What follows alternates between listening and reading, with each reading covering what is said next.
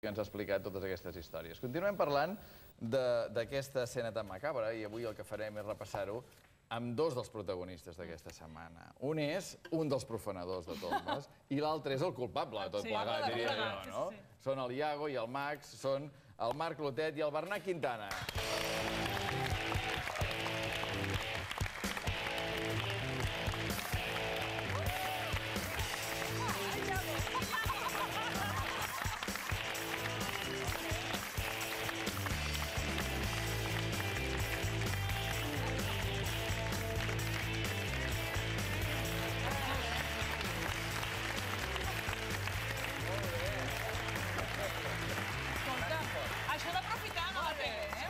Hòstia, això és boníssim, eh? Us he de dir, he de dir que la, company, la aquí, ho està presó... passant molt malament a la presó. Sense Sí, però he de dir que la presó no ha causat estralls en, eh, en el Iago. No, no, no. perquè Està, Home, no. No, Perquè que està és estupend. guapíssim. L'únic és els cabells. eh? És molt Sí, però et trobo molt bona no fas cara. cara eh? de petit, eh? No fas cara Doncs de es pateix, petit. es pateix. I tant que petit, pobre. I aquesta samarreta? És bo, és bo, això. Hosti, és boníssim. l'ha passat eh? per... Alguna- més barat, llibertat era massa car, perquè et cobren les lletres. Això ho hem posat en anglès. Ha el eh? Safe Acebes de Ves Polònia que i el Free Iago... Que no hàgim de posar aviat Free Max després que amb, t'enxampin. amb, la joia Que podries fotre... De Sí, que... sí, Déu-n'hi-do. Amb el que cobraràs de la joia podria haver fotut llibertat Iago. A veure, Bernat, Bernat Quintana, making of d'aquesta seqüència que hem vist, ara ens ha explicat la realitat del Jordi Balmanya, però a la ficció, on ho heu rodat, a quina hora, el iuiu que li ha donat a molta gent d'aquesta taula i molta gent a casa, si el vas passar tu, també explica. Bé, vam rodar al cementiri de Sant Andreu, vam obrir una tomba de debò, no sé de qui... El... Ah, que jo hi tinc el meu avi allà enterrat. Sí, home. És, com es diu, de cognom? No, no, estava, estava... Bueno, era una tomba arran de terra, vull dir, tot això suposo que estava previst justament perquè no ens compliquéssim més la vida del compte. I ho vam fer Jo- a la nit al cementiri de Sant Andreu, eh? aquell que està per sobre la, la Meridiana. Sí, sí, sí.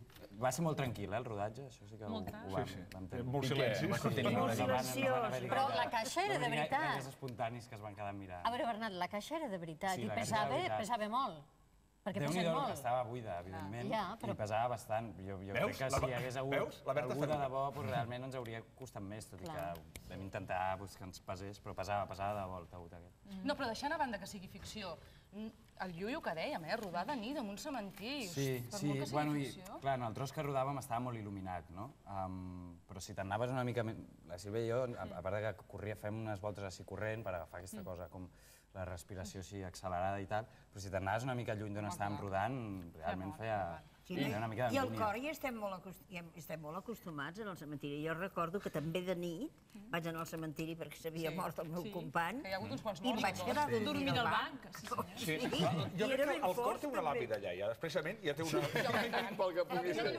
Pel que pugui ser. En el cas del, del Marc Clotet, home, Marc, hem de dir una cosa, clar, que tu vas entrar al cor, no sé, si- no diríem de rebot, però sí que un dels últims a arribar al cor, i Déu-n'hi-do el paperàs, eh? Déu-n'hi-do el Sí, sí. personatge, perquè t'hem vist, escolta, espectacular, eh? No, la veritat és que he tingut molta sort amb el, amb el personatge perquè ha començat doncs, des del principi que va entrar, doncs, allò increixendo i creixendo i aquest final, doncs, bueno, fins a Setmana Santa ha sigut uh, increïble.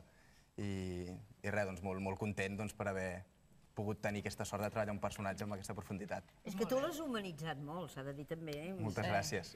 No ens en podem Li ha oblidar. ficat en molts donat- problemes al Max, que fins ara era el més normal Però d'aquesta ha pringat, Però el Lluís deia, No, ha no, no, a pringat la, la, el que està destapant gràcies a Iago. Ho trobo una parella fantàstica. fosc, eh? No, no, m'agradeu molt i trobo que és la parella... Molt, El és gir- molt maco que per una, per una parella vagis a profanar Sí, una tomba. Sí, senyor. Si te l'estimes tant com el Max estima el Iago, Va, sí, recordem ja la setmaneta, la setmaneta que ha tingut aquesta parella, eh? un en mans de la Poli i l'altre en mans del Radovan, que no sé què és pitjor.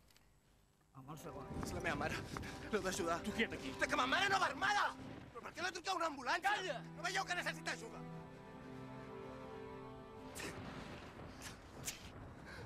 Si no vols perdre tota l'estença ara mateix, digue'm on són les meves joies! Ja ho sé. Estic perdent la paciència. Tots s'han anat a la merda. Ma mare és morta. Max, amb qui parles? Iago, digues sí o no.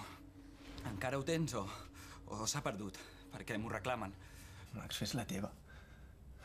I oblida'm. Iago, estaré al teu costat, passi el que passi.